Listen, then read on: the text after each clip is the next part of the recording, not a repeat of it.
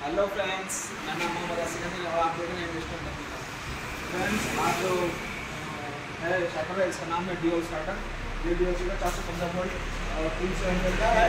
हम इसको अभी टेस्ट करने जा रहे हैं। तो फ्रेंड्स आप देख पा रहे हैं डिओ स्टार्टर में हमने क्या क्या लगाया है। फ्रेंड्स डिओ स्टार्टर में पहले एम्पियर मीटर है इंटीग्रेशन है आर वाई का फिर ऑन ऑफ़ और ये.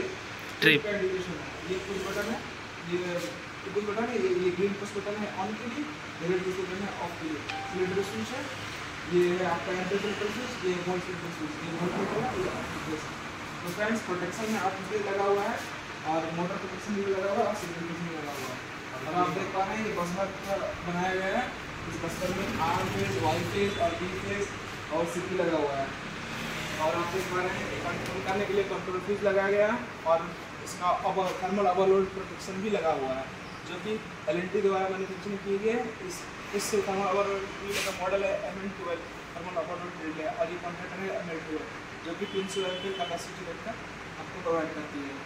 ठीक है फ्रेंड्स और ये है आइसोलेटर इसे बोलते हैं। इस आइसोलेटर का नाम है F N four hundred L का है। और ये कंप्लीट पूरा पैकेज है। ड्यूल शटर इसका प्राइसिंग है दो लाख कितना दो लाख पंद्रह हज़ार, दो लाख पंद्रह हज़ार। तो आपको अगर ये शटर लेना है तो कृपया कॉन्टैक्ट करें। चलिए हम इस शटर को हम टेस्टिंग करेंगे। और देखेंगे कि प्रॉपर्ली वर्क कर रही है फ्रेंड्स टेस्टिंग करने के लिए हमने इसमें एल सप्लाई प्रोवाइड किया। इसका सप्लाई है दो सौ तीस। तो चलिए फ्रेंड्स हम इस शटर को ऑन करेंगे। जैसे कि आप देख पा रहे हैं हमने सिंगल फ़ेज़ प्रोवाइड किया। तो सिंगल फ़ेज़ में ये रेड कलर का इंडिकेशन चल रहा है। इसका मतलब इसमें एक सिंगल फ़ेज़ आया हुआ है। जैसे हम ग्रीन को ऑन करेंगे मतलब स्टार्ट करेंगे तो ये कॉन्ट्रेक्टर ऑन हो जाएगा। और कॉन्ट्रेक्टर ऑन होने से ये इंडिकेशन ग्लो होगा। चलिए फ्रेंड्स हम इस बटन को प्रेस करेंगे। आप देख पा रहे हैं, जैसे कि बटन को हम प्रेस किए तो ये रेड कलर का इंडिकेशन लाइन ग्लो हुआ। इसका मतलब ये शटर ऑन हो गया। अब इस शटर को हम ऑफ़ करना है तो हम ये रेड कलर का पुश बटन प्रेस करेंगे तो शटर ऑफ़ हो जाएगा। इसका इंडिकेशन लाइन यहाँ पे ग्लो होगा। तो आप देख पा रहे हैं, जैसे कि इस बटन को हम प्रेस किए रेड बटन तो ये इंडिकेशन ग्लो हुआ ग्रीन का मतलब आपका शटर बंद है। तो इसी तरह प्रोटेक्शन लगा एक्टिविटी के लिए, जो कि हम आपने बताया।